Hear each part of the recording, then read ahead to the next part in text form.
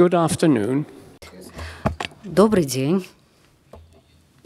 Мы собрались здесь сегодня на основную сессию динамичных коалиций. Меня зовут Маркус Кумар. Я соведущий координационной группы динамичных коалиций. И вместе с коллегой соведущей мы будем вести эту сессию. Позвольте мне с самого начала сказать несколько слов о динамичных коалиций. Они э, им также по возрасту совпадают э, с IGF, начиная с первого э, форума в Афинах в 2006 году. А, было выбрано необычное название «Диамичной коалиции». Почему? На самом деле были те, кто выступали за то, чтобы IGF был как бы ежегодным форумом, затем кто-то вышел с идеей, что давайте соберем людей, которые занимаются одним и тем же, и сделаем коалицию более динамичной, с тем, чтобы они работали в межсессионный период. Так что вместо того, чтобы называть это э, рабочей группой, потому что рабочая группа — это более оформленная структура, мы называем это динамичной коалицией. То есть начиная с Афин. 28 таких коалиций а, уже было. Если раньше мы организовывали специальные сессии по каждой коалиции, но в этом году мы решили подойти к этому несколько по-иному, и Юта расскажет вам о концепции этой сессии. Но целью является продемонстрировать то, как динамичные коалиции вместе вносят вклад в общую тему работы IGF. Пожалуйста, передаю микрофон соведущей Юте. Спасибо, Маркос, за предоставленное слово. Маркос уже говорил, что у нас сейчас есть 28 коалиций, Занимаются они рядом вопросов, э, и здесь есть три уровня. Во-первых, они тем или иным образом занимаются правами человека, с тем, чтобы люди могли осуществлять свои права э, в цифровой среде. И здесь мы хотим четко заявить, что речь идет не о конкретных правах, а о всеобщей декларации прав человека – под ООН. Это первое. Второе. Все динамичные коалиции работают над достижением ЦУР и ускорением процесса осуществления. Это, собственно, и является темой нашей встречи. И при обзоре их работы каждая из коалиций э, рассматривает вопросы ЦУР в контексте темы этой коалиции. И, собственно, об этом будут выступления в ближайшие 90 минут. И динамичные коалиции активно работают с соответствующими сообществами, вовлекая более широкие слои пользователей. И позвольте мне обратиться к словам заместителя генерального секретаря госпожа, господина Диан Хуали, заместителя генсекретаря по экономическим и социальным вопросам, а, о чем он говорил в нулевой день заседания. Он обратился ко всем из нас с призывом ускорить цифровые применения для достижения ЦУР, для улучшения инфраструктуры и цифровых возможностей для преодоления цифровых разрывов, а также укрепления цифрового сотрудничества между странами.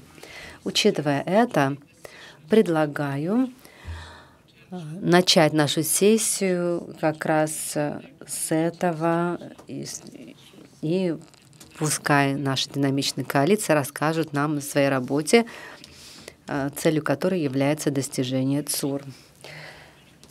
Большое спасибо, говорит Маркус. Мы находимся в большом зале, и я попрошу всех приблизиться, может быть, сесть поближе с тем, чтобы у нас было чувство общности, иначе э, э, небольшое чувство разобщенности существует. Итак, что же э, нам сейчас предстоит? Во-первых, перед нами выступят несколько представителей.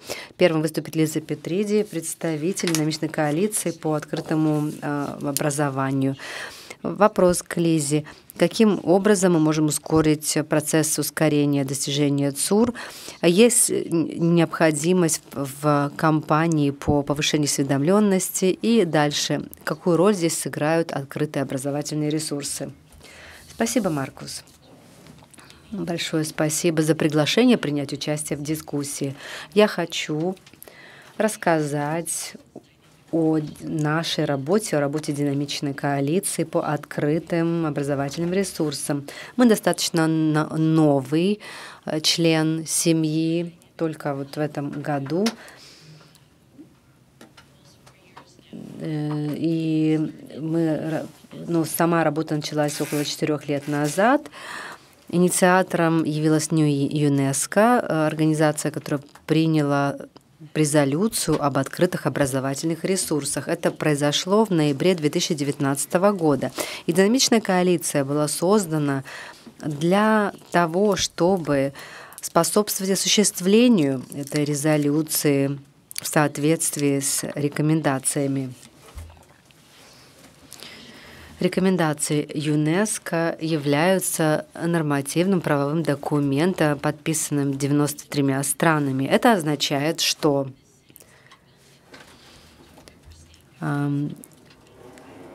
формулировки этой, этой декларации должны быть включены в формулировки закона в соответствующих странах. Сейчас в нашей коалиции 500 членов. Э, мы начали работу за неделю до начала пандемии. Поэтому большинство э, нашей работы происходило через Zoom, и только в последний год мы можем встречаться очно. Итак, динамичная коалиция по открытому образованию. У нас есть пять э, основных компонентов. Во-первых, расширение потенциала, разработка благоприятных мер политики, обеспечение всеобщего доступа, открыт, открытые многоязычные ресурсы, включая доступ для инвалидов,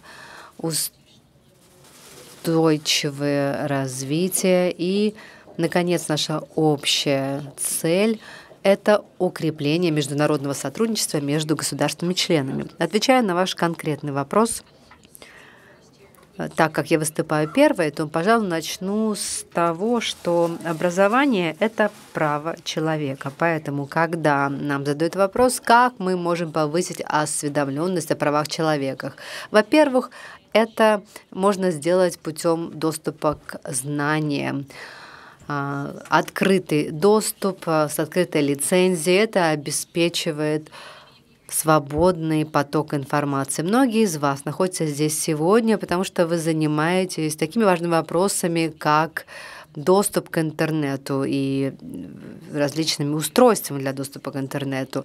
Но то, что передается через эти устройства, вот в чем вопрос. Это знание. И речь идет об открытом образовании и рекомендации нашей работы внедряются в разных странах. Это касается локализации язык, э, по языкам. Мы готовим дидактический материал разного уровня, и это очень важно для достижения ЦУР.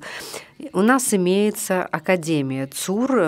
Это такая платформа, которая создает учебный контент – а, то есть ЦУР, которые касаются климатической проблематики, развития и так далее. Это контент с открытой лицензией. Иными словами, это компонент, укрепляющий потенциал. Эм, это делается для обучения людей не только о том, что, что такое ЦУР, но также, что мы можем сделать для того, чтобы эти цели были достигнуты. И здесь я хочу подчеркнуть важность концепции открытости. Ведь существует множество примеров из прошлого, когда, допустим, система Всемирного банка была закрыта, эти ресурсы, до них невозможно, э, их невозможно найти, доступ к ним закрыт. Поэтому мы хотели открыть э, такой ресурс, такую базу ресурсов, которая была бы открыта, которую нельзя закрыть. А, то есть, чтобы ее нельзя было закрыть, как это было в приведенном мною примере. Это ключевой фактор, когда речь идет о достижении ЦУР и ускорении их достижения. Поэтому открытость — это важный компонент.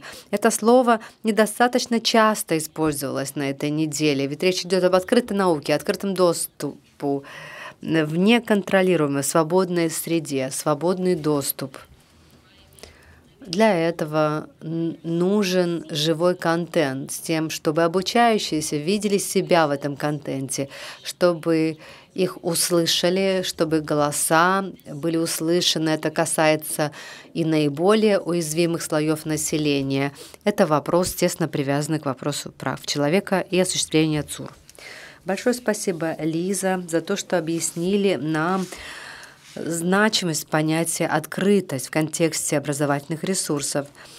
Сейчас я задаю вопрос Мухаммаду Шабиру, представителя динамичной коалиции по доступности и инвалидности.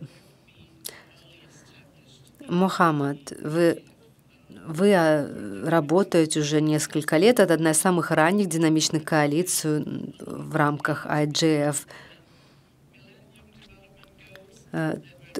помнится, у нас были цели развития десятилетия, принятые в 2000-х 2000 году, затем в 2015 году и принятый ЦУР. Скажите, пожалуйста, каким образом в контексте прав инвалидов доступ в интернет помогает компенсировать э, э, неудобства для инвалидов. Расскажите, пожалуйста, о вашей работе в этом направлении. Большое спасибо за ваш вопрос за возможность выступить.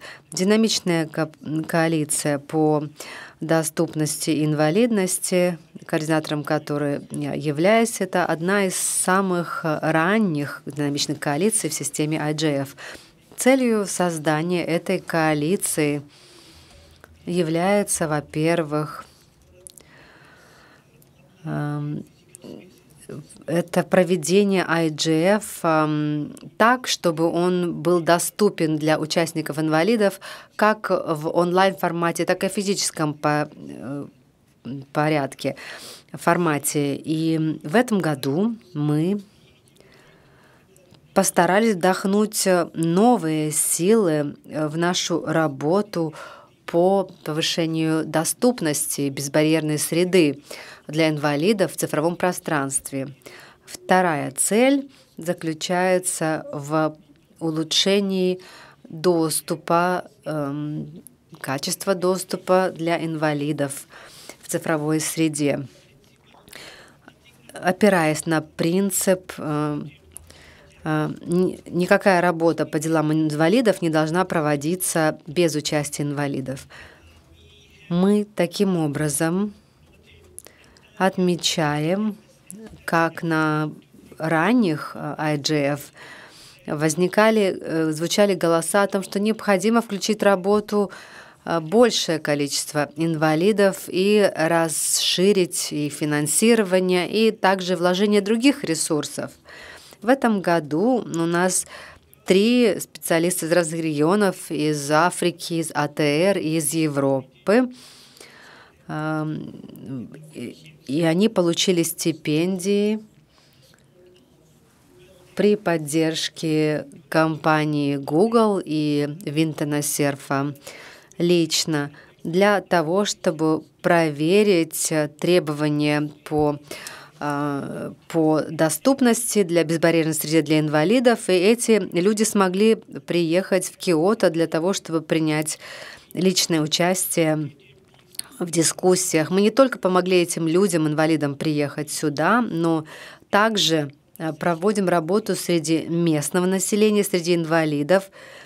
И 9 октября на платформе IGF у нас присутствовала ли э, инвалиды, инвалиды из самой Японии. Они приняли участие и внесли вклад в дискуссию. И опираясь на это исходное предположение. Э, перейду к следующей теме. Мы говорим о тех, кто подключился к интернету, тех, кто не подключен. Так вот, среди неподключенных говорят о 2,6 миллиардов людей, которые не имеют доступа к интернету. При этом у нас, у нашей коалиции цель несколько иная. Мы представляем 1 миллиард 300 миллионов человек с инвалидностью, и, и которые представляют из себя различные страны, это представители разных полов, и эм, им важно, чтобы э, чтобы те, допустим, хай, хай-тек устройства, которые мы используем, э, которые можно подключать к интернету, но, но к сожалению, зачастую контент э, не всегда доступен для инвалидов, так как они пользуются теми же устройствами несколько по-иному. Иногда с помощью программы чтеца или э, каких-то аудиовизуальных устройств. Есть устройства, настроенные на работу только одной рукой, потому что такие устройства, такие специальные программное обеспечение не было специально написано для инвалидов, поэтому лица, которые пользуются ими, не всегда получают э, равный доступ к интернету, ко всему контенту. Здесь, например, приведу пример. Это информация, размещенная на сайте самого IGF 2023 года. И в, в этом смысле динамичная коалиция по э, доступу и инвалидности направлена прежде всего для того, чтобы включить инвалидов в эту дискуссию, расширить их участие на данном форуме и также внести вклад в его дискуссию. Что касается ускорения достижения цели устойчивого развития и привязки их к целям развития тысячелетия, которые были приняты в 2000 году, uh, к сожалению, ЦРТ, цели развития тысячелетия, не имели каких-то конкретных показателей, целевых показателей, касающихся э, инвалидов. В ЦУР, э, однако, эта тематика отражена, и в каждой э, ЦУР есть особые целевые показатели, которые так или иначе касаются инвалидов. Это касается образования и занятости, и умных городов, и доступа к разным ресурсам и так далее.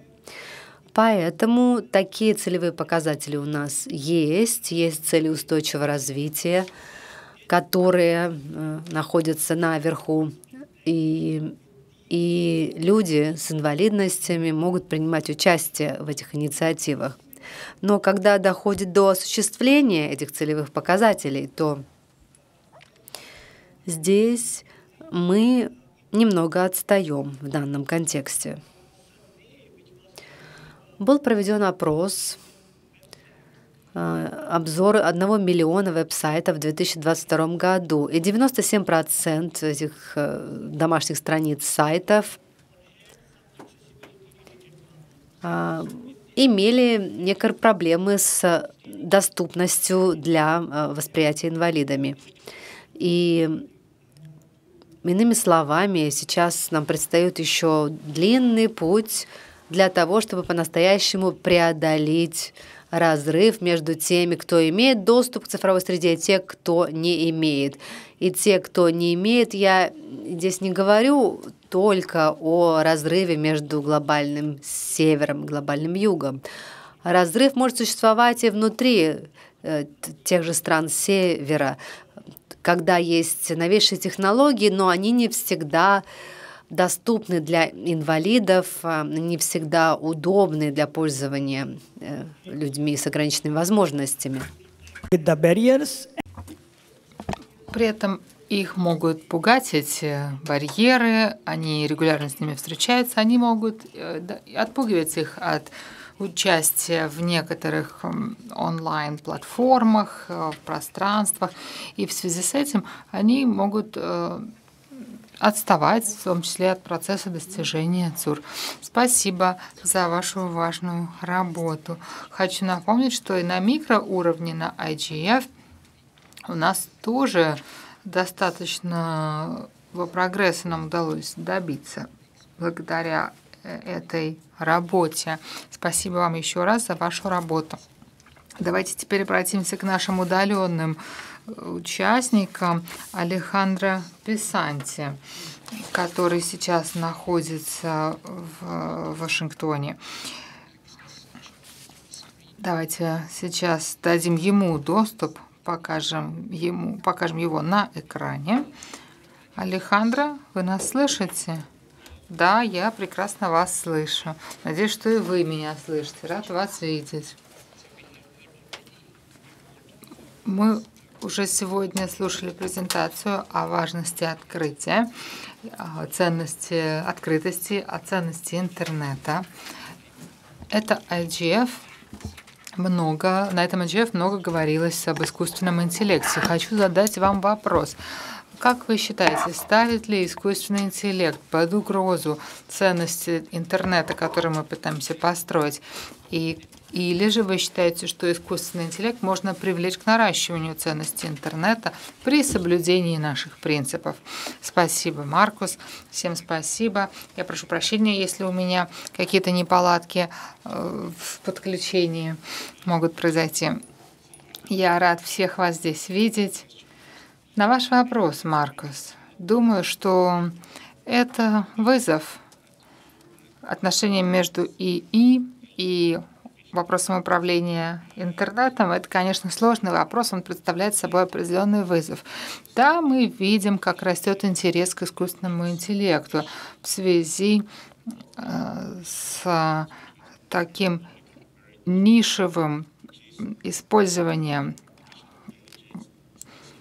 мы сегодня конкретно говорим о генеративном искусственном интеллекте в больших языковых моделях. Это нишевое использование ИИ, если мы говорим о спектре всего того, на что ИИ способен. Это огромная база данных слов, и вместо того, чтобы просто давать какой-то запрос, мы сегодня даем возможность и, и выполнять гораздо более комплексные действия. На самом деле искусственный интеллект это гораздо более широкое поле деятельности. Нейросети продолжают учиться, процесс продолжается. И мы сегодня видим, что в последние десятилетия внимание общественности было прикована к этому процессу. И мы все знаем, что мы э, используем инструменты искусственного интеллекта в э, количественных э, расчетах, которые проходят в интернете. И мы видим, что это используется в вопросах кибербезопасности, людьми, которые занимаются кибербезопасностью, обслуживанием сетей. Так что мы видим множество Э, способов использования искусственного интеллекта на протяжении многих лет. Я думаю, что, конечно, искусственный интеллект может дать возможность людям с ограниченными возможностями получать больший доступ к большему количеству услуг. И это масштабируемое э, качество искусственного интеллекта, что тоже очень важно. Но, конечно, мы должны не забывать о важности безопасности. Есть э, злоумышленники, не все хотят пользоваться искусственным интеллектом в благих целях. Поэтому э, здесь можно рассматривать и тенденции злоупотребления о том, как можно, например, при помощи искусственного интеллекта взламывать пароли э, и даже видеопароли, которые сегодня можно поставить под угрозу.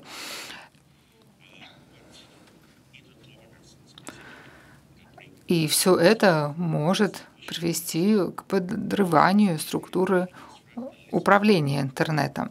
Что мы здесь можем извлечь из всего этого, из всего этого опыта, практически 30-летнего а, опыта изучения и исследований, посвященных управлению и а, формальному строительству институтов, которые занимаются управлением интернетом с привлечением э, разнообразных заинтересованных э, сторон.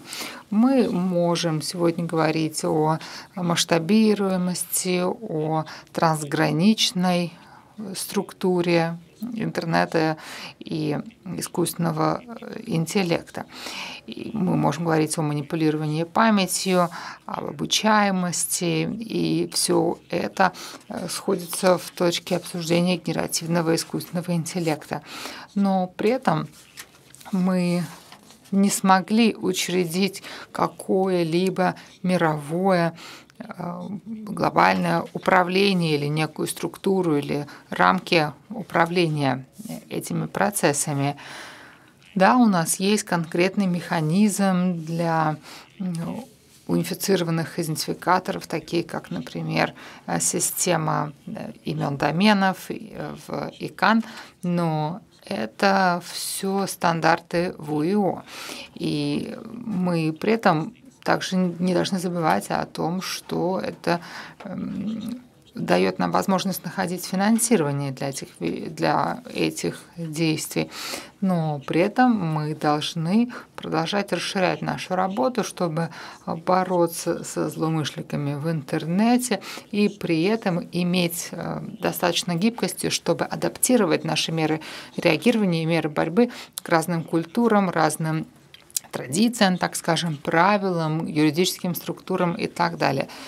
Так что необходимо не забывать о целостной картине, особенно когда мы говорим о взаимосвязанности всех этих компонентов. Искусственный интеллект может быть использован как в ущерб, так и для защиты наших ценностей, ценностей интернета, которые мы хотели бы создать. Спасибо, Алехандро, за то, что представили нам тему работы динамичной коалиции по ценностям интернета. Благодарю вас за то, как вы объяснили, что искусственный интеллект может быть использован во благо и во зло. Хочу теперь перейти к Аври Дория, которая здесь представляет динамическую коалицию по вопросам интернета вещей. Я думаю, что э, интернет вещей это, пожалуй, одна из наиболее э, интенсивно растущих э, подразделений динамичной коалиции. Я э, думаю, что здесь можно говорить, оглядываясь на пять дней работы, здесь мы говорим о том, что во главе угла стоит человек. И я хочу задать вам вопрос, что это означает для вас в контексте динамической коалиции интернета вещей и что это означает эм, ставить человека во главу угла, быть открытым, строить инклюзивный интернет, и как это влияет на вашу работу. Спасибо за этот вопрос. Да, действительно, мы работаем в рамках динамической коалиции интернета вещей. Когда мы только начали нашу работу, это было до того, а, как а, все приобрело тот вид, а, который оно имеет сейчас, и стало таким неопределенным, как мы это видим сейчас. И сегодня мы слышим совсем другие дискуссии, они изменились. Тогда мы пришли к тому, что действительно важно, что важно то, как мы выстраиваем свои отношения с, интер с интернетом вещей и как мы можем помогать пользователям извлекать пользу из этого. И когда мы начали работать с интернетом вещей, мы поняли, что необходимо э, иметь некий набор ценностей для разработки передовых практик того, как можно строить интернет вещей. И это должно стать неотъемлемой частью интернета вещей. И это то, над чем работала наша динамическая коалиция. Разрабатывая передовые практики, необходимые для того, чтобы интернет вещей или вещи, существующие в интернете, э, вступали бы в интерактивную связь с пользователями, с населением, с городами, с людьми и с людьми в целом, чтобы это все оставалось э, при этом э, с фокусом на человеке, прежде всего, как сделать так, чтобы по-прежнему доступ можно было контролировать, так чтобы никто не мог получить доступ э, с э, целью навредить, как можно было защитить интернет вещей, как можно было защитить данные, потому что мы собираем данные, как можно их собирать и хранить безопасным образом. Вот работа динамической коалиции, вот наш процесс 2008 года, когда мы впервые начали э, диалог на эту тему, вплоть до 2018 года, когда были опубликованы практики деятельности интернета вещей, когда стало более понятно, как они влияют на нас, как на людей, как именно они ставят человека во главу угла.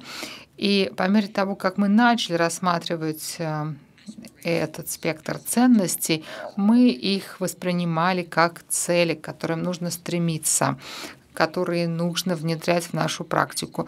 Мы также рассматривали и цели устойчивого развития с тем, чтобы понять, как интернет вещей может поддержать достижение ЦУР. И мы рассмотрели весь список ЦУР, нулевой голод, например, это всеобъемлющая практически э, цель, которая охватывает э, сельское хозяйство, или, например, здравоохранение. Там тоже множество целей, задач, и мы можем там тоже э, применить наши цели чистая энергия, водные ресурсы, доступная чистая энергия, достойные рабочие места, окружающая среда, чистый воздух и так далее. Фактически, какая бы тема не поднималась в рамках устойчивого развития, можно было найти способ взаимодействия с интернетом вещей. Причем он мог бы быть как и на пользу э, достижению ЦУР, так и во вред. И здесь опять-таки нужно было рассматривать все в комплексе, и сбор данных, и хранение данных, и весь процесс. Как мы можем обеспечить должным образом контролируемую среду, безопасную при этом среду. Так что ценности были учреждены, и далее мы рассматривали анализ влияния интернета вещей на то, как мы можем обеспечить адекватный доступ и как можно контролировать этот доступ, как можно э, отслеживать э, вещи, которые, возможно, теряют свое назначение, что можно с ними дальше делать на их жизненном цикле. Вот проблема, о которой говорит динамическая коалиция, вот что мы обсуждаем, вот проблемы, которые мы пытаемся решить, и анализ, который мы публикуем. Спасибо, Аври. Интернет вещей с человеческим лицом. Я рад.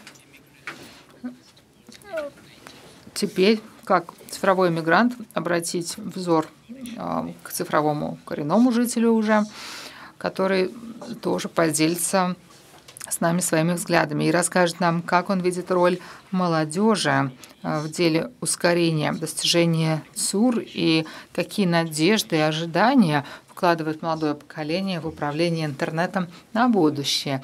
И какое влияние, как вам кажется, он может иметь на молодежь. ФИО, вам словом.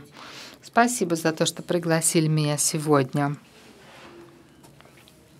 Я горжусь тем, что я сегодня здесь, потому что как представитель молодежи, как молодой человек сама, я привыкла смотреть на ораторов из зала. Ораторы всегда люди старше меня. Я рада, что молодежь сегодня получает право голоса на разных сессиях, разных форумах, и мы можем поделиться с вами своими взглядами на вызовы, которые стоят перед нами в том, что касается интернета, и как молодежи сложно вступить в диалог с сообществом, и а, как нам сложно принимать участие в продвижении ЦУР и строительстве лучшего будущего интернета. Конечно, цели устойчивого развития связаны с нашей жизнью. Мы живем в цифровую эпоху, и начиная с пандемии COVID-19 мы видим стремительное ускорение этого развития. Можно действительно назвать нашу жизнь эрой интернета. Мы видим, как молодежь сегодня работает в сети. Это может быть даже какая-то общественная работа, не обязательно именно оплачиваемая работа. Сегодня мы видим, как молодежь активно пользуются интернетом, и наша коалиция молодежи по ценностям интернета активно работает с людьми, привлекает к нашей работе молодежь. И по всей Азии мы работаем в Азиатско-Тихоокеанском регионе. Мы видим, как необходимо расширять возможности молодежи в Азиатско-Тихоокеанском регионе с тем, чтобы позволить тем более значимое участие в сообществе управления интернетом и расширить их участие в этом сообществе. Мне кажется, что поддержка молодежи и лучшая репрезентативность наших голосов в обществе будет способствовать э, тому, что удастся достучаться до большего количества людей в работе управления интернетом. Молодежь пользуется э, технологией. Мы действительно родились уже с технологией в руках, так сказать. Мы коренные жители э, цифровой эры. И поэтому, конечно, мы вовлечены и в то, что происходит с интернетом на всех уровнях, и в локальном сообществе, и в рамках региона и глобального сообщества. Но, тем не менее, мы сталкиваемся с вызовами, которые представляет собой интернет по мере того, как интернет эм, развивается. И важно для нас, для молодежи, э, сократить поколенческий разрыв и вести диалог э, не только друг с другом, при этом решая вопросы, которые формулирует для нас интернет по мере продвижения э, вперед. И при этом учитывая интернет, э, учитывая последствия углеродного следа, который оставляют за собой технологии. Для нас это сегодня чрезвычайно важно. Особенно для молодежи из развивающихся стран мы это отмечаем. Пусть даже мы не понимаем, кто-то из развивающихся стран может не понимать, как именно функционирует интернет технически, но мы понимаем, что он влияет на нашу жизнь ежедневно. Это и присутствие в соцсетях. Мы понимаем, как соцсети используют наши данные, пусть не не на техническом уровне, но мы знаем, что это происходит. И мы в молодежной коалиции призываем молодежь принимать участие в нашей работе. Мы провели эм, работу большую по э, ВИО, по информированности молодежи о ВИО. Мы провели э, также работу по привлечению молодежи к форуму управления интернетом в 2022 году и в этом году тоже мы понимаем, что нельзя недооценивать роль программы шефства в молодежных программах и в молодежном сообществе. Мы, конечно, сталкиваемся с рядом вызовов, особенно в том, что касается ресурсов, финансовых ресурсов, например, ну и временных ресурсов тоже. Мы, как молодежь, ценим каждую минуту, потому что мы э, понимаем, как важно говорить об этих вопросах, как важно лучше понимать происходящее. Кроме того, мы также должны э, понимать, э, как важно обучения и как важно получать доступ к интернету для обучения. При этом далеко не всем интернет доступен. Это становится все дороже и дороже получать доступ через интернет в нашем регионе. Почему это происходит? Из-за политического влияния э, в таких странах, как, например, Мьянма, Афганистан, Сложно получить доступ к интернету. Интернет становится все дороже и дороже. И не каждый представитель молодежи может с легкостью получить доступ к интернету. Доступ к интернету также расширяет наши возможности в том, что касается образования и доступа к информации о таких вещах, которые нас волнуют в глобальном масштабе. Кроме того, мы видим, как интернет влияет на а, программы по наращиванию возможностей, на инвестиционные программы. Мы видим, как он позволяет нам вступать в диалог с глобальным и региональным сообществом, потому что мы все в разных часовых поясах, при этом мы работаем вместе над нашей общей целью. Иначе если кто-то не может себе позволить подключиться к интернету, они просто остаются за бортом. Это ключевое послание, которое я хотела подчеркнуть. Оно э, важно. Э, для нас важно, чтобы его услышали. Молодые люди очень активно продвигают э, эти идеи и работают над такими вопросами, как свобода слова, цифровые права. Это все важные для нас вопросы. Но, с одной стороны, как именно это все влияет на наши жизни.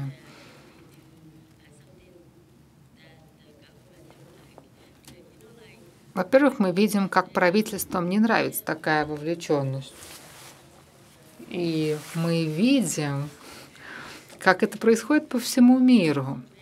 И мы видим, как множество правительств в странах при этом поддерживают молодежь. Есть и такие примеры.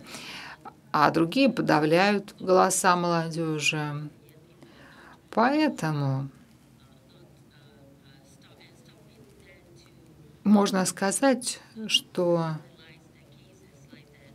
даже есть примеры криминализации голосов молодежи, когда мы говорим, например, о вопросах окружающих среды. Это реалии, с которыми нам приходится иметь дело. Кроме того, молодежи нужна поддержка от организаций для того, чтобы мы могли вместе преодолеть эти проблемы, с тем, чтобы мы вместе могли добиться выполнения цели устойчивого развития с тем, чтобы мы могли стремиться к нашей общей цели построения одного мира, одного интернета. Большое спасибо за то, что вы э, озвучили точку зрения молодежи на этой сессии. Действительно, по всем тем темам, которые вы осветили, э, мы должны согласиться с их значением, особенно в том, что касается вопросов окружающей среды. А,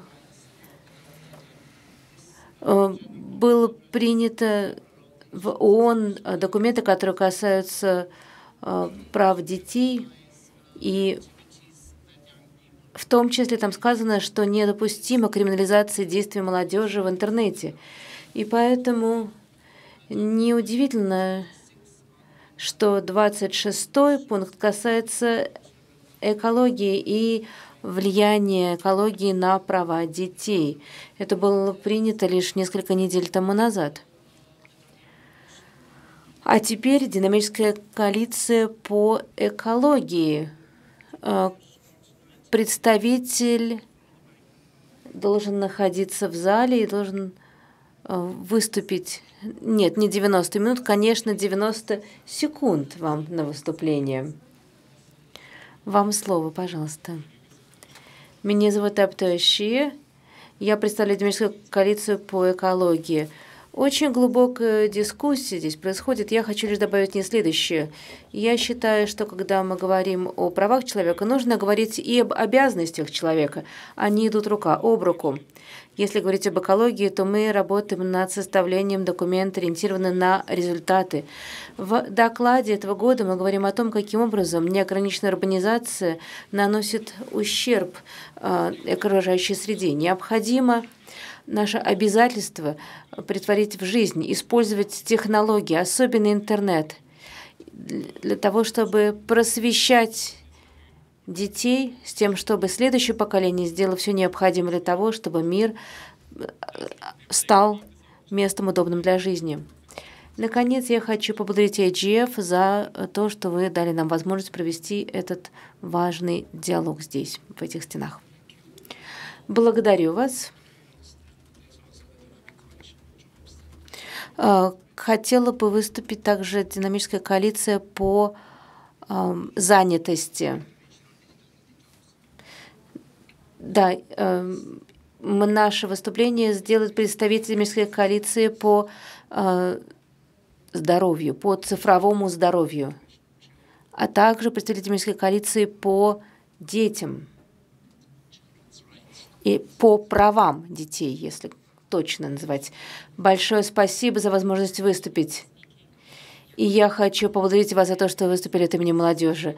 Я очень рада э, видеть здесь так много представителей молодежи. Я представляю динамическую коалицию по правам детей в цифровой среде. Как мой коллега уже об этом говорил, мы динамическая коалиция, которая основана на принципах и на содержании на э, положении 25 относительно прав детей и экологии. Я хочу поблагодарить всех остальных коллег, выступавших от имени других динамических коалиций, поскольку это позволяет нам увидеть полную перспективу э, и принять права детей и обеспечить учет прав детей по всем направлениям работы.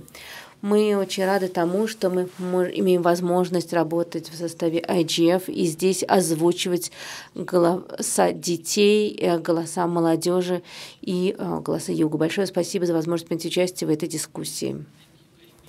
Спасибо, Эми. Гендерно-динамическая коалиция по занятости и по цифровому здоровью. Благодарю вас.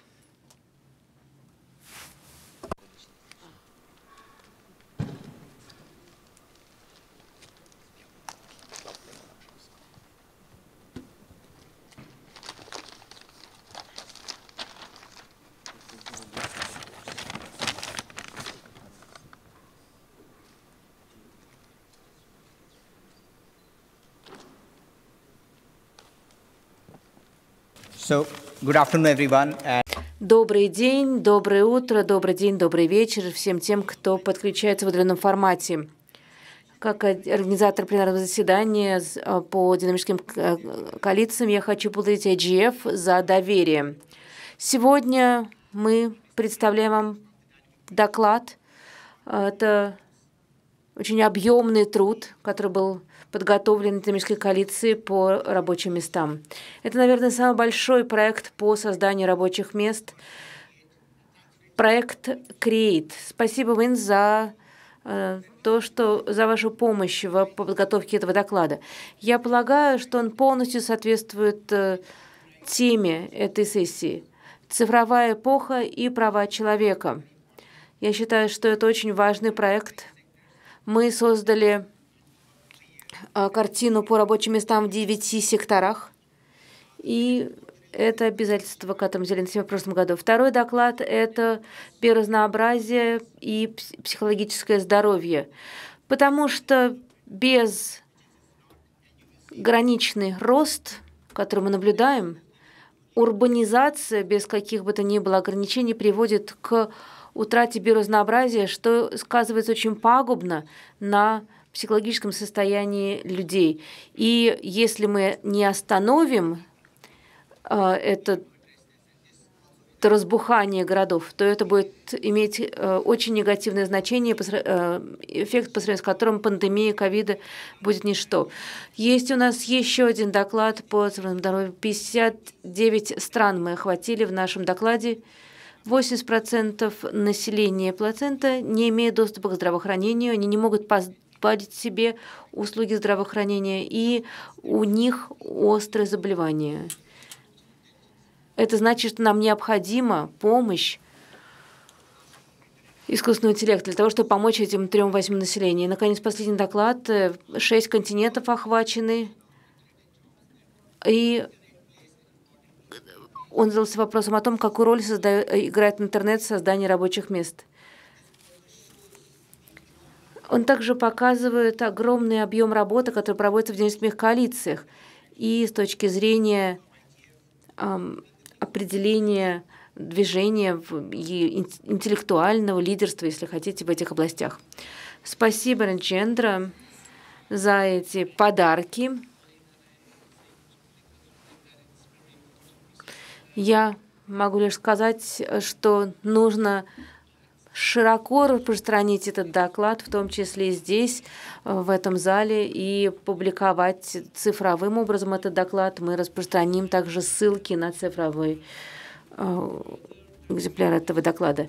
Если у нас представители других динамических коалиций, кто-нибудь еще хотел бы выступить, мы можем вам также предоставить возможность выступить. У вас будет у каждого 90 секунд. Если вы хотите выступить, подойдите к микрофону. А если вы не хотите выступать, то мы можем начать отвечать на вопросы из зала.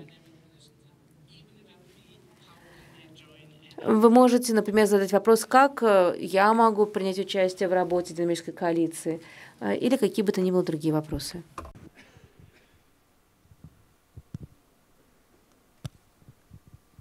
It has been our objective to вы знаете, мы стремились к максимальной интерактивности, но для этого нужно, чтобы вы задавали вопросы и комментировали. А также хочу поинтересоваться, есть ли вопросы или комментарии от э, удаленных участников. Есть два вопроса от удаленных участников. Первый от господина Джеймса из Камеруна. Он говорит следующее. Какие существуют стратегии для того, чтобы использовать практические нормы, которые уже э, созданы в отношении э, профессиональной деятельности? Какие есть ресурсы в их распоряжении? Well, the question is about Вопрос касается стандартов. Я знаю, что у нас есть динамическая коалиция по стандартам. А, кто-нибудь из зала хотел бы ответить на этот вопрос? Yes. Um, I can certainly add... Я могу сказать следующее. В составе динамической коалиции по интернету вещей тот факт, что есть стандарт, которым мог, многие могут воспользоваться для того, чтобы обеспечить прозрачность, функциональную совместимость, определить стандарты ожидаемого поведения, эм, приемлемого с точки зрения потребителей, так вот наличие таких стандартов является совершенно необходимым. И поэтому передовая практика э, э, гласит, что необходимо следовать стандартам. Это очень важно. Спасибо, Аврии. Мохаммед, вы хотели бы что-либо добавить э, в том, что касается стандартов? Да, вкратце. Э, динамическая коалиция по доступности и э, вредности мы всегда призываем следовать версии 2.1 стандарта по созданию доступных приложений, сайтов, эм, контента в интернете, так, чтобы лица с инвалидностью могли бы получить доступ к этому контенту. И наша ассоциация всегда призывает разработчиков следовать этим стандартам. Спасибо, Мохаммед. Windsurf. Для нас огромная честь, что вы принимаете участие в этом, в этом заседании, даже можете задать вопрос. Да, мой вопрос к Аври или к тому, кто готов на него ответить. Мой вопрос касается следующего. Каким образом можем мы нарастить э, наши возможности по производству интерфейсов, которые были бы доступны лицам с инвалидностью? Ведь стандарты не приводят автоматически к увеличению наших мощностей в этой области. Вы знакомы наверняка с Академией Кана. Конечно же, это инициатива, которая э, значительно развилась за последние годы и сейчас включает в себя не только математику. И этот пример заставил меня задуматься о следующем. Может быть, мы можем обратиться к лицам с инвалидностью, помочь нам, э, прежде всего помочь тем, кто отвечает за разработку программного обеспечения, которое используется онлайн. Ведь не интуитивным образом понимают, как применять эти стандарты для того, чтобы обеспечить большую доступность. Я, э, чем больше узнаю об этом, тем больше понимаю, что есть примеры того, что хорошо работает, а что не работает совсем. И примеры могут быть наилучшим э, объяснением э, для разработчиков с тем, чтобы они также смогли интуитивным образом понимать что успешно, а что нет. Потому что если вы не знаете, как что-то работает, то как можно а, если вы не знаете, например, как работает устройство по считыванию экрана, то вы не можете сделать страницу, которая будет хорошо работать а, с функциональной точки зрения с таким устройством. Я думаю, что привлечение лиц с инвалидностью может нам помочь в наращивании нашего потенциала в этой области. Спасибо, Винт. Вы знаете, я как раз об этом думал. Спасибо за этот комментарий. Нам действительно необходимо нарастить наш потенциал в этой сфере. Если э, выйти за границы того, что обсуждается в динамической коалиции, то наращивание потенциала имеет прямое отношение к тому, о чем я говорил в начале. Необходимо, чтобы были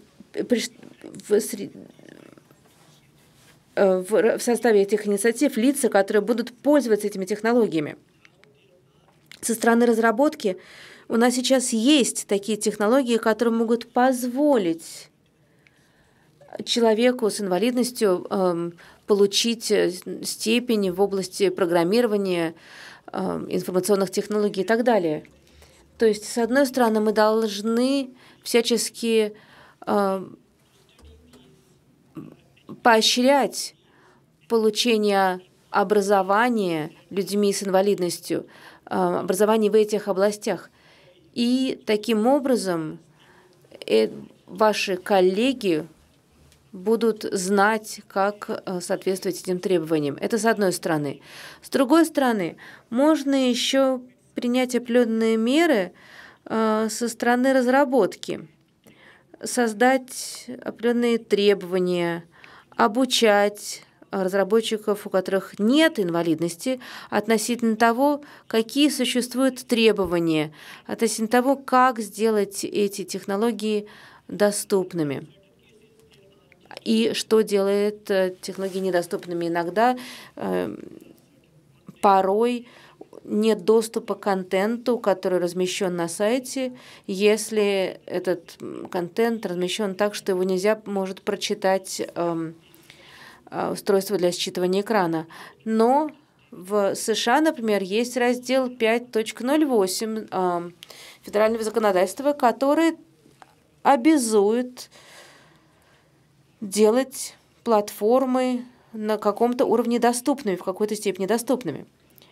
Это юридическое требование. Мне кажется, что это очень интересная дискуссия, которую следует продолжить. Большое спасибо, Винт, за это очень важное замечание. Вы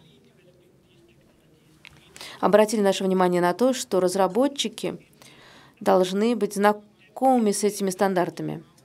Простите, ваше время закончилось.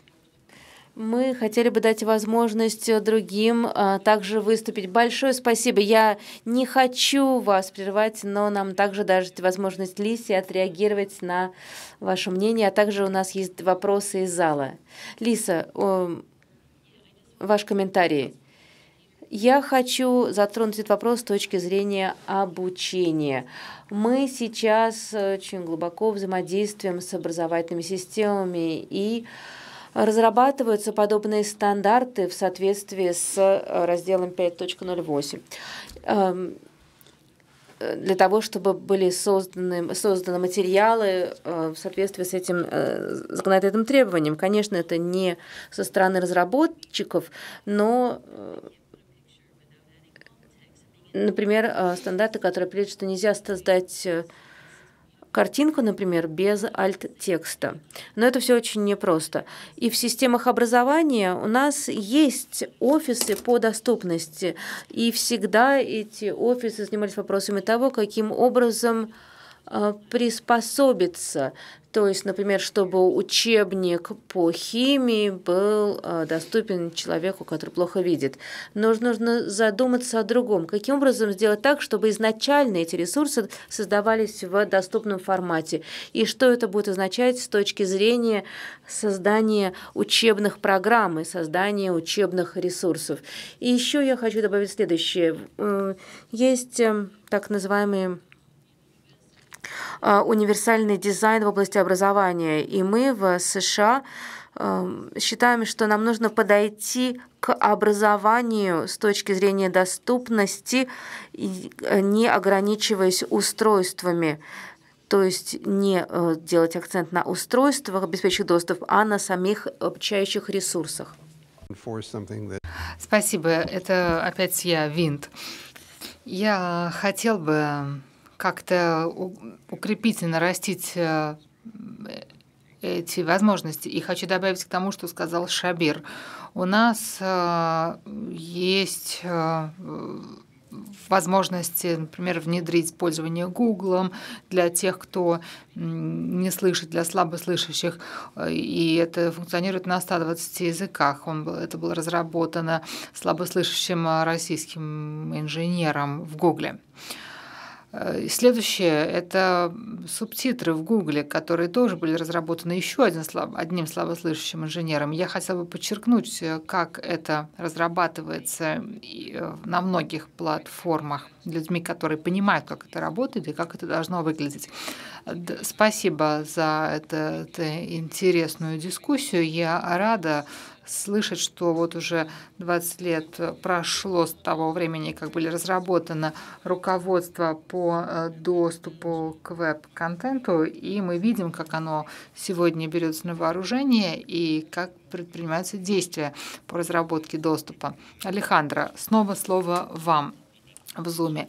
Э, да, действительно, я э, хочу перейти к теме интернета вещей и ответить по вопросу э, стандартов. Да, действительно, мы должны отличать э, пользователя интернета вещей. Это, как правило, происходит в открытом интернете, когда трафик проходит через IP и между промышленным использованием интернета вещей, когда определенные сегменты коммуникаций используют открытый интернет, когда вы, например, э, пользуетесь интернетом через автономные девайсы или вы подключены через Wi-Fi, тогда вы имеете меньшую безопасность при вашем подключения. Это первое. Второе, теперь, э, что касается ожидания от искусственного интеллекта. Это, как правило, э, ожидание, что он будет эм, соответствовать какому-либо стандарту, который будет э, функционально совместим с использованием других приложений, которые тоже опираются на искусственный интеллект и на э, интерактивный и в своей деятельности. Но это лишь будет означать, что мы перепрыгиваем через э, преграды, как уже сказал Винт, или как мы сами видели, когда, например, как, например, происходит в невероятном процессе автоматического перевода. И опять-таки важно помнить о том, что ценности интернета и ценности IGF в этом контексте подразумевают вовлечение а, разных сторон заинтересованных, и ваша система может быть улучшена, если вы будете изучать примеры если вы будете опираться на а, примеры пользования интернета, искусственного интеллекта соответствующими заинтересованными лицами. В заключение хочу сказать, что если существует технический стандарт по, например, а, доступности интернета, то э, для человека, например, который э, слабо э, и если у вас есть определенный определенный вид, способ, как сделать этот э, контент доступным, то мы как раз обеспечиваем больший доступ, и это и есть приверженность к э, ценностям интернета безопасным образом. Спасибо, Алехандро. Следующий вопрос, пожалуйста. Я, меня зовут Макавел, я советник по политике IS3C. Это мы занимаемся стандартами интернета в области безопасности и Работа нашей коалиции сфокусирована на том, какие из существующих стандартов не применяются должным образом во всей экосистеме интернета. У нас есть несколько рабочих групп, и мы рассматриваем прежде всего вопросы безопасности. Мы рассматриваем эти вопросы. И недавно мы опубликовали доклад, который включает в себя обзор политики, которая существует во всем мире в области интернета вещей и положение этой политики в том, что касается именно стандартов. Целью этой работы является сделать интернет вещей более безопасным. У нас есть рабочая группа, которая рассматривает разрывы э, в области образовательных программ и профессионального обучения а, в контексте стандартов кибербезопасности. Сейчас мы разрабатываем предложение по созданию хаба кибербезопасности, который поможет объединить промышленность и образовательный сектор и вместе объединить усилия, вместе рассмотреть эту проблему, создавая Э, новые стандарты кибербезопасности, которые можно будет применять при профессиональном образовании, э, в образовательных системах в целом. У нас есть еще одна рабочая э, группа, которая занимается вопросами сотрудничества государственного и частного секторов в области обеспечения процесса закупок и цепочек поставок, управления цепочками поставок. Мы зачастую видим, что контракты по закупкам не конкретизируют вопросы стандартов кибербезопасности. И когда, к примеру, сотрудники госструктур прибегают к онлайн-системам для того, чтобы организовать процесс закупок, то, к сожалению, они не включают необходимые для этого процесса стандарты безопасности что нужно э, менять и что нужно подключать к работе. Мы также запускаем еще одну э, рабочую группу, которая будет э, заниматься разработкой новых стандартов безопасности, будет уделять внимание подсекторам в области разных пользователей интернета и разных заинтересованных сторон. Мы продолжим нашу работу добавляя новые аспекты к ней в зависимости от потребностей и пытаясь создать более безопасный интернет, более безопасное присутствие онлайн, при этом встраивая в нашу работу ценности ЦУР, более безопасную и устойчивую, а также эффективную инфраструктуру, которая будет обслуживать интернеты разных секторов здравоохранительного, финансового, образовательного и так далее. Мы пытаемся встроить целый спектр ЦУР сюда. И я и прошу прощения, что я вышел за рамки регламента. Можно я прокомментирую? Да, пожалуйста, буквально три секунды. Было бы отлично, если бы вы создали образовательную программу по кибербезопасности. Если вы это сделаете, я хотела бы, чтобы это был открытый образовательный ресурс, потому что многие создают программы по кибербезопасности, но затем они становятся частными, коммерческо основанными, и таким образом нет открытого ресурса. Поэтому если вы создадите открытый образовательный ресурс, образовательную программу по кибербезопасности, это было бы очень своевременно. Я рада видеть, что уже началось интерактивное общение в рамках динамичной коалиции. Я хотела бы порекомендовать, что э, отметить, что Мухаммад отметил секцию 508 федерального законодательства в США. И это как раз э, раздел, который касается госзакупок.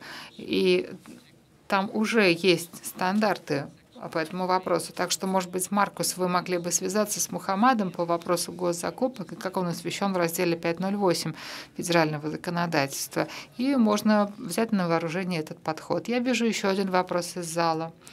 Я Море из Национальной библиотеки Индонезии. С точки зрения библиотеки хотела бы сказать, что библиотеки сейчас обращают особое внимание на ту часть своей работы, когда мы работаем над информационной э, деятельностью, над тем, чтобы донести до населения, что существуют библиотеки, какая у них роль и как мы можем помочь приблизиться к выполнению цели устойчивого развития. Как мы можем подойти более структурированно к нашей работе, чтобы э, более эффективно влиять на э, выполнение этой работы, как обеспечить свободный доступ к информации.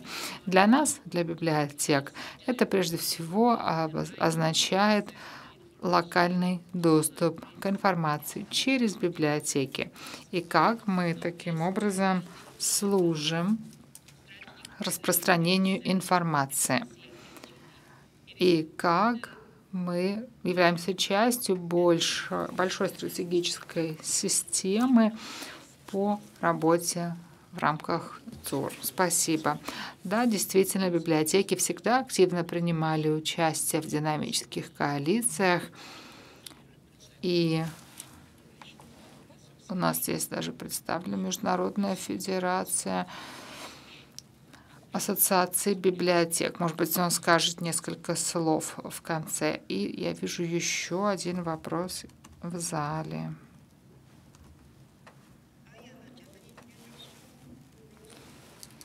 Я из Японии, и я э, потеряла частично возможность э, и способность к чистой речи в результате дорожной аварии. Я сейчас учусь удаленно медицине в университете Осаки, и я хотела бы отметить, что после этой аварии я училась в Японской ассоциации по реабилитации. И даже здесь, в Японии, есть много людей, у кого нет доступа к интернету. Люди с инвалидностью в Японии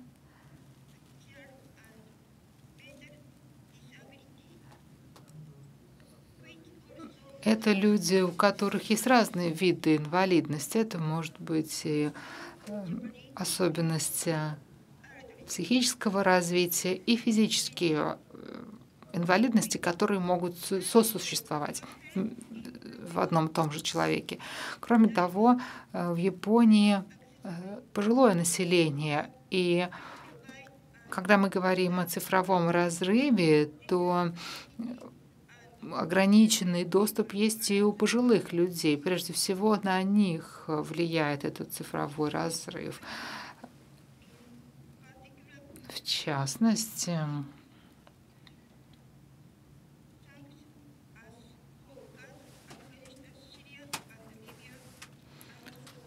я еще хотела бы выразить обеспокоенность тем, что происходит в мире – в сложных регионах. И хочу поблагодарить вас за возможность взять слово.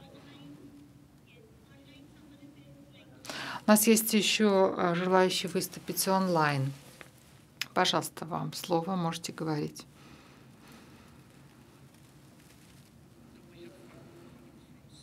У нас есть комментарий в Зуме.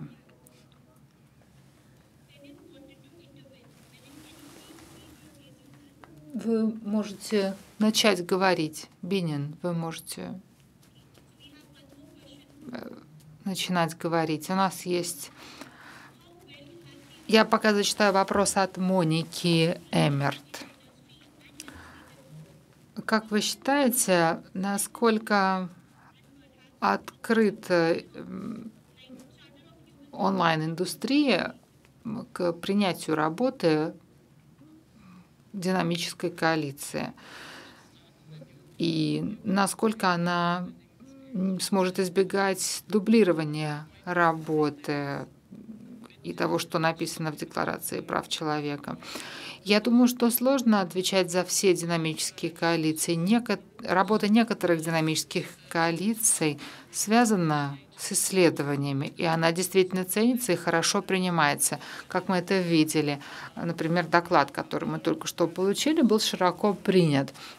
При этом работа других динамических коалиций скорее относится к практической работе, э, как, например, работает в библиотеках. Мы здесь э, фактически даем людям доступ в случаях, когда иначе без нас этого доступа не было бы. Маркус, что вы можете добавить? Мы всегда говорим, что сложно найти общий знаменатель для всех динамических коалиций, потому что они очень разнообразны. Они разнообразны по э, своей сфере деятельности, по своим принципам и по практике, которой они заняты в том, что касается политики, доступа, это разные инструменты. Поэтому сложно дать некий общий ответ по всем динамическим коалициям, особенно когда речь идет о доступности динамических коалиций для населения. А это имеет как раз прямое влияние, как э, Мухаммад нам сказал, на то, как они продолжают свою работу. Я готов выслушать мнение наших ораторов. Возможно, у них есть конкретные примеры, или они хотели бы высказать свое мнение по этому вопросу. Есть желающие? Кто-то хочет взять слово?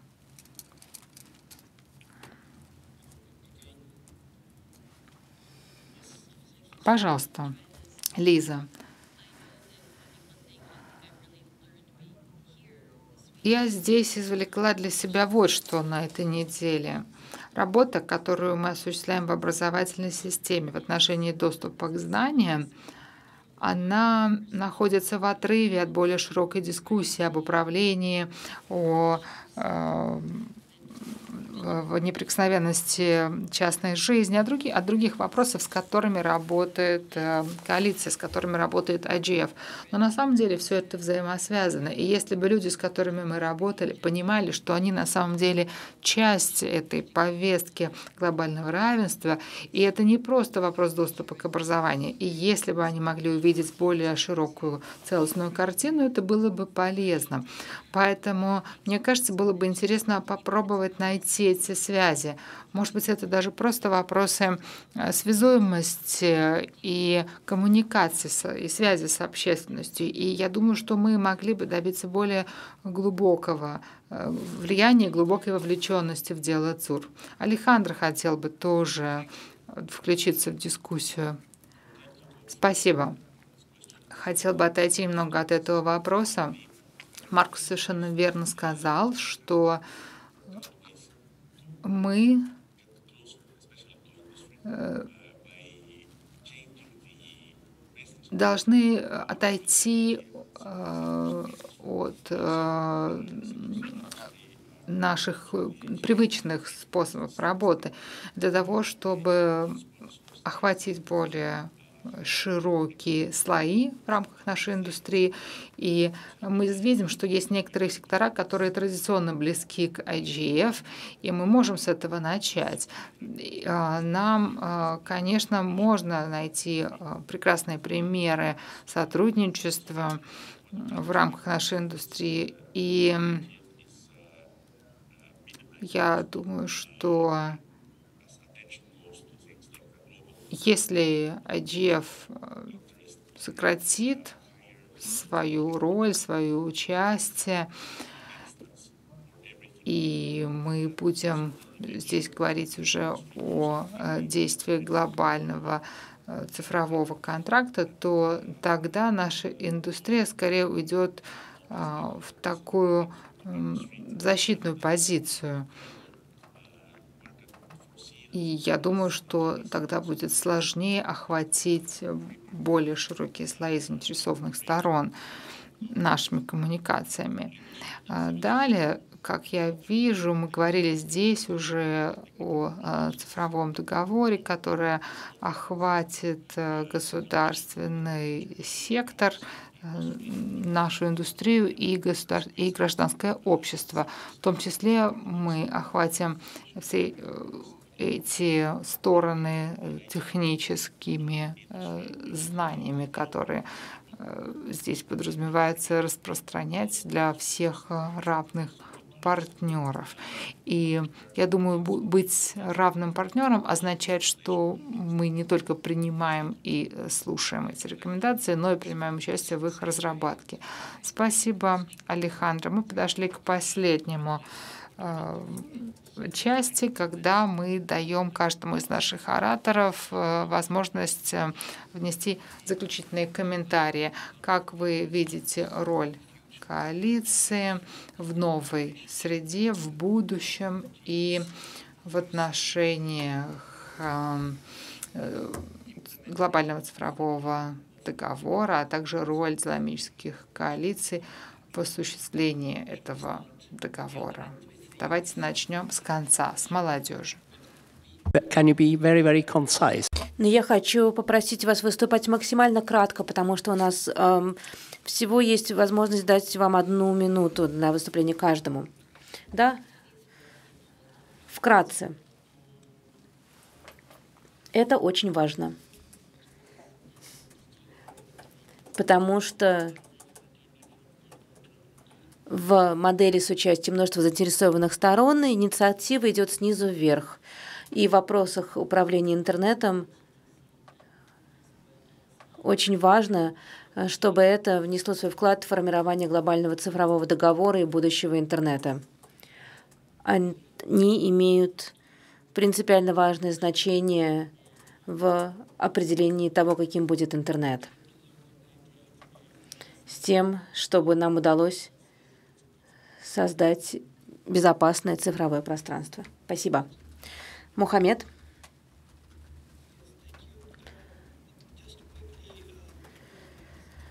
Спасибо. У меня есть два замечания. Во-первых, соверш... Э, существует э, неправильное распространенное убеждение в том, что работа для людей с инвалидностью, которая проводится, пойдет на пользу только тем, у кого есть инвалидность. Нет.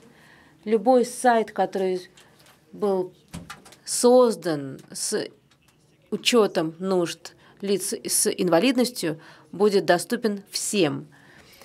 Это во-первых. А во-вторых, а, коалиция по инвалидности готова сотрудничать со всеми остальными форумами, коалициями, э, с любыми структурами для того, чтобы сделать цифровую среду и форум по управлению интернетом доступным Э, лицам с инвалидностью. И нам необходимо делать так, чтобы голоса лиц с инвалидностью были услышаны. Но, наконец, в завершение я хочу еще раз подчеркнуть, что вся работа, которая делается для оказания помощи лицам с инвалидностью, это работа, которая пойдет на пользу всем. Поэтому необходимо начинать сейчас, тогда, когда у нас есть возможность добиться результата. Лучше делать это сейчас, чем потом сожалеть. Спасибо, Лиза.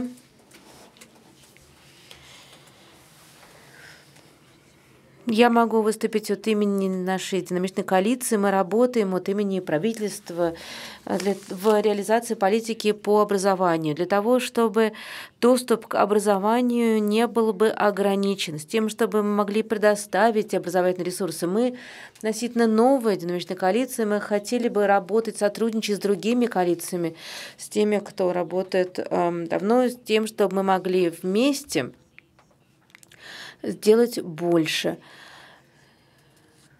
И с тем, чтобы наша работа эм, была синхронизирована с работой других структур в отношении образования.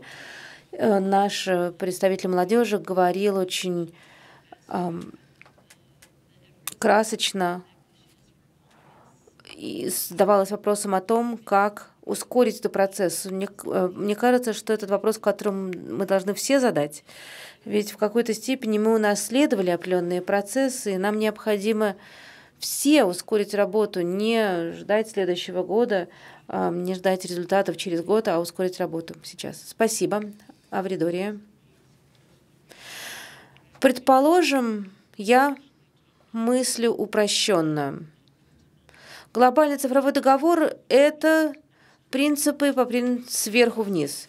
Динамичная коалиция предлагает принципы снизу вверх. Так что я вижу определенную проблему. Да, мы будем стремиться в дальнейшем, как в IGF, с тем, чтобы э, нас учли, приняли, но думаю, что будет непросто. Спасибо. А наши два докладчика хотели бы э, вкратце представить резюме в стиле Твиттера? Только не забудьте представиться. Спасибо, Маркус. Прешекла, я координатор интернет-рабочие места и докладчик на этом заседании. Я хочу сказать, что это заседание было очень глубоким. Были призывы к действию.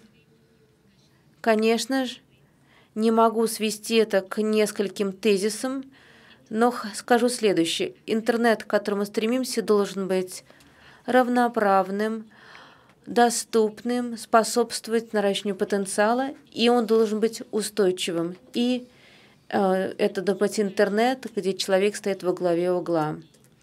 И необходимо также отметить, что глобальная организация по управлению интернетом должна быть создана и делать акцент о правах человека, так и говорить об обязанностях человека. И надеюсь на то, что все динамичные коалиции не будут закукливаться, а будут работать в сотрудничестве с друг с другом и э, перейти от этих тезисов к практической работе. Спасибо. Стим? Стим, э, простите, закашлялся. Стим Майн. Я здесь исключительно в роли докладчика – А также я принимаю участие в работе динамической коалиции по общественному доступу и библиотекам.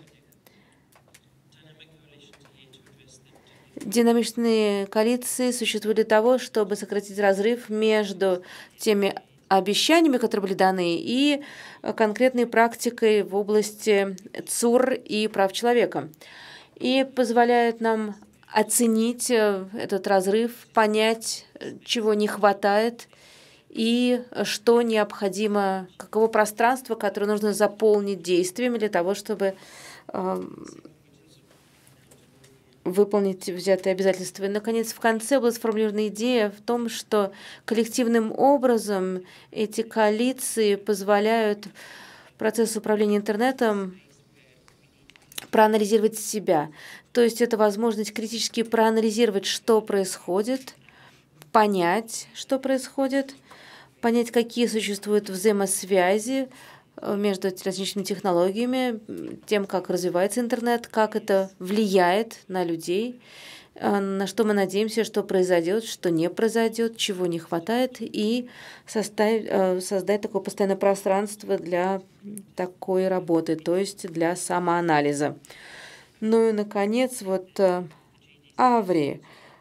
Если глобальный цифровой договор предоставит некую шапку, так сказать, под эгидой которой будет вестись э, обсуждение интернета, то это означает, что в цифровой договор нужно включить процесс снизу вверх, чтобы Э, можно было сказать, что нужно, собственно, сделать.